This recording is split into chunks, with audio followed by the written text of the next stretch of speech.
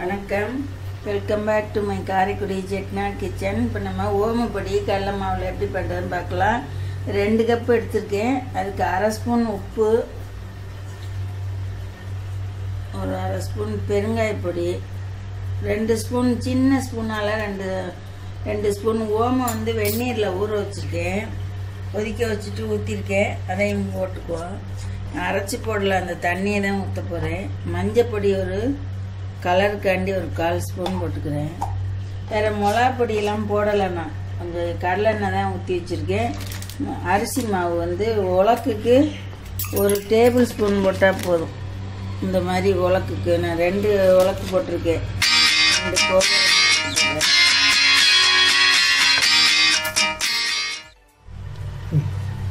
அரிசி மாவு ஒரு டம்ளர் மாவுக்கு ஒரு டேபிள் ஸ்பூன் தான் ரொம்ப கௌரவமாக மாவு போட்டனால போட்டேன். ஓமம் சுடுதண்ணி ஊற்றி ஊற வச்சேன். அது தண்ணியை வ இருத்துக்கிறேன் வேணுங்கிறத ஊற்றிக்கலாம் பார்த்துக்குவோம். கெட்டியாக சப்பாத்தி மா மாதிரி பிணைஞ்சிக்கிட்டு வரேன். ஒரு ஸ்பூன் நெய் போட்டுக்கிறேன். மறந்துட்டேன். ஒரு ஸ்பூன் ரொம்ப வேண்டாம். அப்புறம் ரொம்ப கொட்டிடும். ஒரு ஸ்பூன் நெய். நீங்கள் பட்டர் இருந்தாலும் ஒரு ஸ்பூன் போட்டுக்கலாம். பட்டர் இல்லை. அது ரொம்ப கெட்டியான கடலை மாவு இறங்காது. அடுப்பு பற்ற வச்சு நான் கடலெண்ணெய் ஊற்றி வச்சுருக்கேன். நான்ச்சி கடாயில். ரீஃபைண்ட் ஆயில் வேணாலும் ஊற்றிக்கலாம் வடிகட்டி தான் ஊற்றணும் இல்லைன்னா அந்த கண்ணு சின்னமாக இருக்கதை அடைச்சிக்கிட்டுரும். அரைச்சி சில பேர் வறுத்துட்டும் போட்டுக்குவாங்க. அதை மிக்சியில் முணுக்கிட்டு அப்புறம் தண்ணி ஊற்றி ஊற்றிக்குவா அப்படி இருந்தாலும் நீங்கள் வடிகட்டி தான் ஊற்றணும் இந்த மாதிரி மாவு கொஞ்சம் அப்படி இன்னும் கொஞ்சம் லூஸாக இருக்கலாம். இன்னும் கொஞ்சம் லேசாக லூஸாக இருக்கலாம். இந்த மாதிரி பண்ணுங்க பிள்ளையார் பண்ணி வச்சுருக்கேன் நம்ம இந்த பலாரம் பண்ணாலும் நல்லா வரணும்ட்டு பிள்ளையார வேண்டி பண்ணி வச்சுக்கணும். வச்சாச்சு இப்போ காஞ்சிருச்சான்னு பார்ப்போம் எண்ணெய் ஊற்றி வச்சுருக்கேன். லேசாக மாவு போட்டு பார்க்குறேன் கொஞ்சம் காயணும் போட்டோன்னும் இல்லை.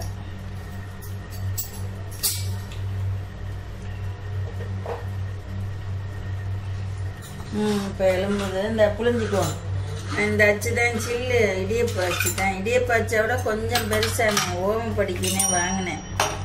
அந்த அச்சு தான் போடுறேன். இப்போ புளிஞ்சிக்குவோம் நான் லேசாக குறைச்சி வச்சுக்கிறேன். தீ நல்லா காஞ்சிருச்சு. போதும் அப்புறம் ஃபுல்லாக வச்சிருவேன் ம் லேட்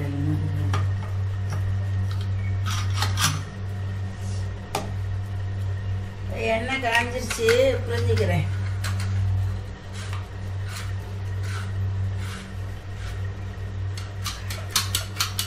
வருது. ம், சரி இந்த எண்ணெயில் புழிஞ்சிக்கிறேன். இந்த மாதிரி நீங்கள் சுற்றி இப்படி புளியணும்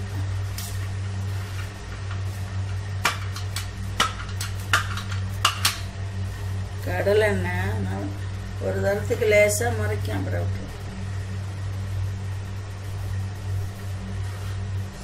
கொஞ்சம் வேக ஓட்டி திருப்பிக்கலாம். கொஞ்சம் வேகட்டும்.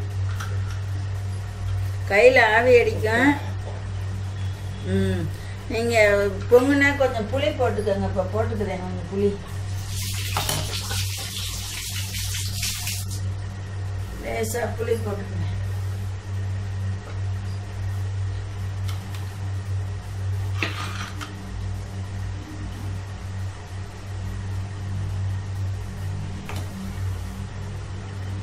திருப்பிக்கலாம். எடுத்துட்டு புளி போடணும்.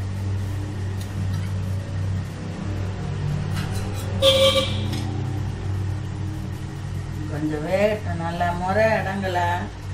கொஞ்சம் வேக ஒட்டி இந்த புளியை இப்போ போட்டுக்கிறேன்.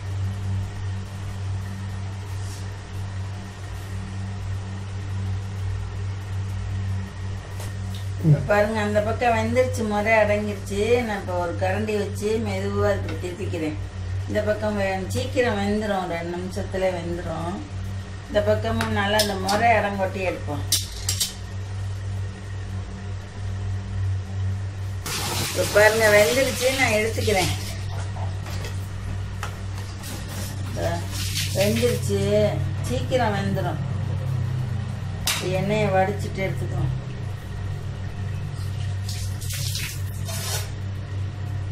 அரைச்சிக்கலாம்.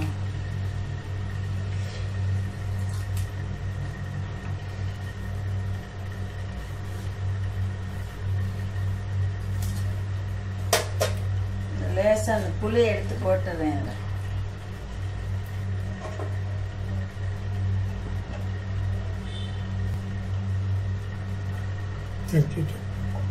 என்ன சொல்றீங்க? எல்லாத்தையும் புழிஞ்சிட்டு காய வைக்கிறேன் ஆ அது அது போதும் வேண்டாம். பாருங்க நம்ம எடுத்த ரெண்டு கப்புக்கு எவ்வளோ ஓமப்பொடி வந்திருக்கு பாருங்க. நீங்களும் பிள்ளைகளுக்கு இது போல் செஞ்சு கொடுங்க. நிறைய வரும் நான் கொஞ்சம் கருவேப்பிலை மேலே வச்சுருக்கேன் இப்படி லேசாக அப்படி அமுக்குனா போதும். ரொம்ப அமுக்காதிய இப்படி அமுக்கிட்டு நல்லா சாஃப்டாக பொறு பொருன்னு இருக்குது இந்த பாருங்க. இப்படி லேசாக அமுக்கி விட்டா போதும். இது போல் நீங்களும் செஞ்சு பாருங்கள் உங்கள் லைக் அண்ட் கமெண்ட்ஸை ஷேர் பண்ணுங்கள் மறக்காமல் சப்ஸ்கிரைப் பண்ணுங்கள் தேங்க்ஸ் ஃபார் வாட்சிங் நிறைய வரும். ரெண்டு உலக்கு போட்டிங்கனாவே உங்களுக்கு ஒரு டப்பா வந்துடும் ஒரு வாரத்துக்கு வச்சுக்கலாம். நிறைய வாங்கலாம்